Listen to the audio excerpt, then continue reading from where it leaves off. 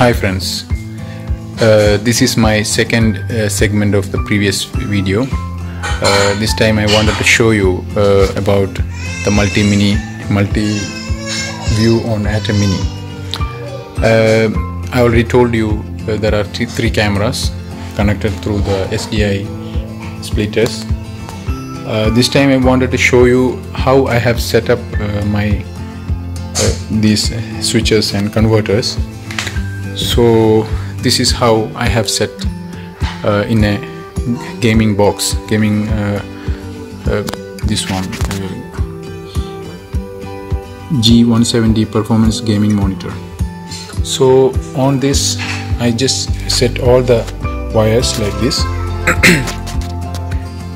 All the three uh, converters which is coming from the camera from the from the, the other converter as an SDI it will convert to the ATEM Mini HDMI then the second loop will go to the uh, multi-view Blackmagic multi-view.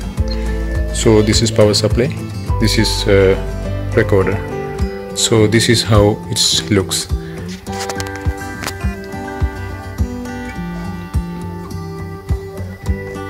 You can select uh, whichever the input 1 input 1 input 2 input 2 input, input 3 so same way we have set here input 1 input 2 input 3 this is an option uh, to set. You can just buy this uh, gaming uh, monitor which can be closed easily as uh, for carrying easily portable so you can have this option